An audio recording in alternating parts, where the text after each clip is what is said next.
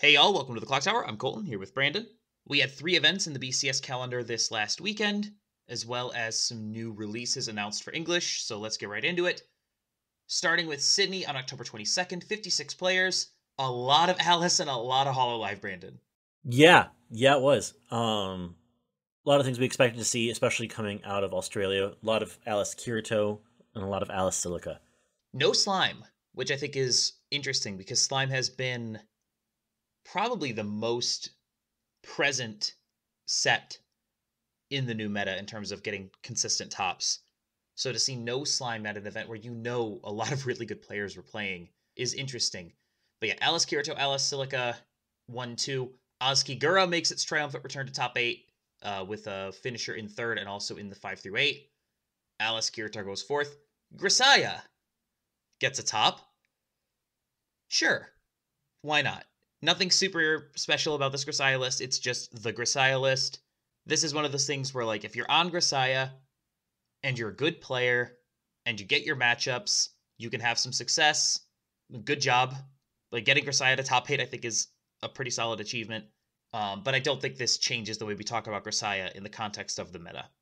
Yep. The other interesting deck here is the Kanata Suisei that finished top eight basically we're at the point now where you can just like throw two combos together in Hololive and you have a deck that technically works. Like almost no level one game. It's literally just playing four copies of the Ina Resonator as its level one game. And then just slamming Kanata on the board at two. And then it uses Suisei as, you know, the board disruption and the burn. Like at this point, it's like, sure, why not? Just like play whatever, man. It's that's Hololive for you. I don't know if a ban would matter in Hololive just because you can immediately pivot to so many other good combos. This is a new combination though, which I mean I'm always excited to see a new combination of combos in Hololive. So this is kind of fun. I think it's really more of a responsive one too. Like realistically, because Suisei can also come in early, it makes it so that way you have to all of a sudden both Kanata and Suisei are both like almost like competing in regards to who's going to be on that turn when. So it's very much a timing question of who's going to be in doing what when. You really want Kanata down to get another turn of Suisei, so you kind of have a little bit both of those worlds. Uh, it also could depend on the matchup too, right? So being able to pivot when you need to for that matchup, yeah, makes a lot of sense too. And and that's just it, right? I don't know if there's a set that's more able to prepare both before the deck is built and after the game has started for a matchup than Hololive. Hololive just has a million profiles and a bunch of combos, all of which are playable.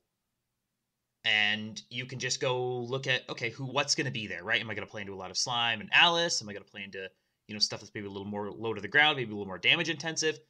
Whatever you think you're going to play into, Hololive has a reasonable answer.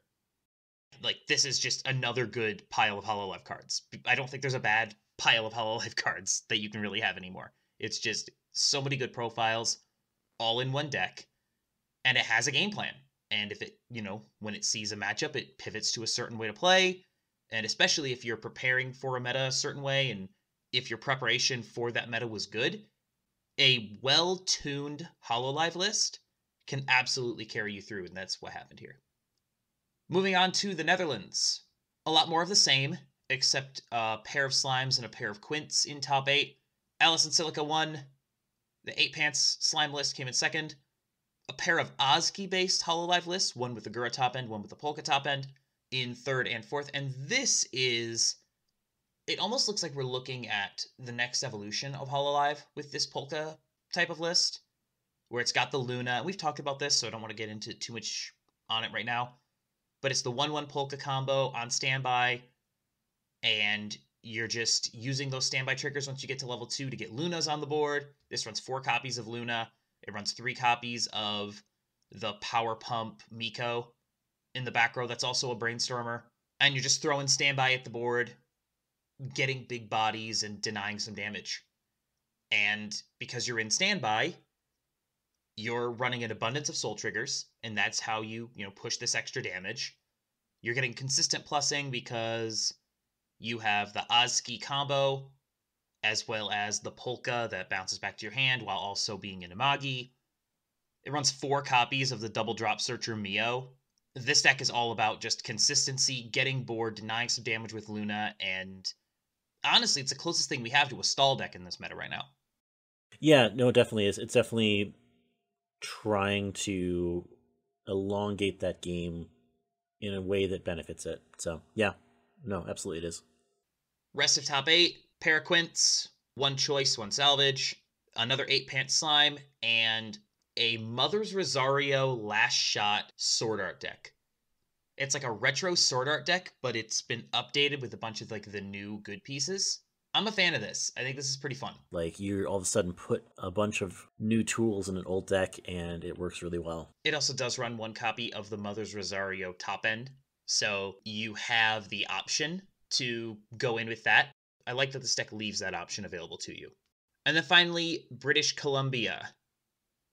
117 players, so the biggest regional from the weekend. The winner was the Chloe Marine deck, going back to our theme of you can just play any two combos you want in Hololive and you'll get a good deck out of it. This deck is interesting because it plays four copies, obviously, of the Chloe level 1. It also plays four copies of the Resonator Laplace, and also four copies of the Marine. So it looks like the game plan here is to go Chloe into Marine, but it also has all of the fun Resonate stuff that you want the Laplace for. It's got the Resonator, the 2 1, the Iroha that gets big. It's got the Koyori that gives power and denies backups. It's got the Lui in the back row where you resonate and it turns it into a pay one, top check, add one. So just like really consistent plussing on a stick. It's basically just the holoX deck, but it throws the Marine top end in and says this is a little bit better than the Laplace, and we have the room for it, so we're gonna do it. Again, Hololive, you have so many options and so many cards just work together because they're just good profiles that you can just stick combos onto combos and it will work. And not to say that these decks aren't well thought out or considered. Obviously, they are. And we were talking about this beforehand. This is also something of a meta call, right? Because the Laplace does so many things for you with the resonator and it gives you the opportunity to actually clear board with the the 2-1 Iroha. So like having that resonate package available to you is really nice. You also get the consistency of playing the holoX event that searches for climaxes. This deck just makes sense. So you can continue to slam climaxes every turn, so that way you can be able to continually be able to clear board to be able to like benefit off of clearing board too, kind of thing. So it's like yeah, and you all and it only needs the one specific card in hand to make that all happen. Yeah. In second was another Ozki Polka. Third place was Avatar 8 Standby with the Azula top end and the Sokka extra attack enabler. Alice Kirito came in fourth. We finally get an Overlord in top eight this weekend. There was only one. Eight Pants Slime, Alice Kirito Sword Art, and Salvage Choice AOT makes its first appearance. Salvage Choice AOT kind of in the same boat as Grisaia, just like generically good cards, but underpowered for this format. Like doesn't really change the way that we look at the deck in terms of its meta relevance. I would say it's an accomplishment to get AOT into top eight more than anything else. Overlord finally does something. The more of these weekends that pass, the more convinced I become the Overlord's just not it. This is the third Overlord deck that we've seen come through. It's showing less representation than Gura at the moment, which should also say something too. Representation in top eight. It's the third one all season when you know, you look at any of these other regionals, you see three Hololives, you see three Sword Arts, you see three Quints, you see three Slimes. Like, Mhm. Overlord is definitely trailing that pack of four, for sure. All right, so looking ahead to what comes next, we had a product stream this last weekend. Stuff got announced. We're going to get Dengeki Bunko. Which is a shock, honestly. I was surprised by this one. What's in this set? I don't even know what this, like, IP includes. I know it's got some railgun stuff, which you're excited about. Yeah, yeah, absolutely. Railgun on 100%. There, but there are 51 titles in Dengeki Bunko. That's so many titles. So with that, there's actually quite a few sets that actually get support through Dengeki Bunko coming in. SAO gets some more support. Because it because it definitely needed that. Um, Accel World gets some more support. GGO gets more support. Hey, there we go. That's fun. Bunny Girl gets support. Those are the big ones. More relevant to our conversation, does any of this matter? It's fun. Okay. But none of these cards are going to make any of these pre-exist. This isn't a situation where it's like, "Oh, this card is going to make everything different for this for this set or it's going to suddenly make Accel World relevant." Nothing like that.